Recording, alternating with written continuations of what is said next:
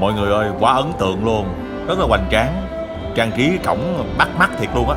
Từ cổng mình bước vào thì là họ có một cái con đường để trưng bày hình ảnh của cô dâu và chú rể.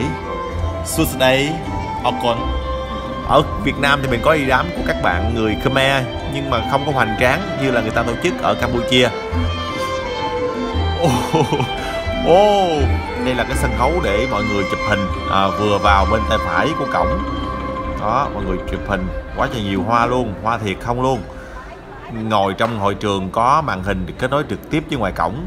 Đây đây là một ban nhạc ban nhạc đánh sóng trực tiếp luôn có sân khấu riêng cho ban nhạc luôn. Ồ, tức là ở trên thì họ có sân khấu chính à, bên dưới nữa họ có một sân khấu để cùng khiêu vũ với nhau và chính giữa một cột hoa wow khách rất là đông.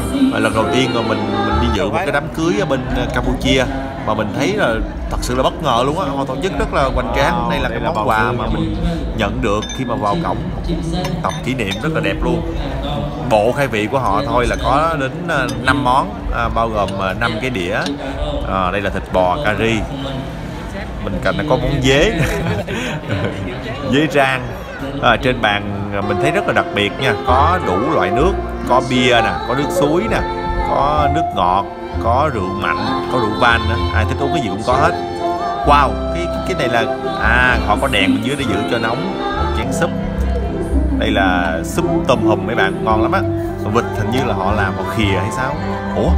À, thêm một món súp nữa. Ngoài súp tôm hùm thì có súp bào ngư. À, mỗi người sẽ có một cái phần riêng như thế này. đây là một cái lẩu lâu rồi mình mới bắt gặp cái lẩu này.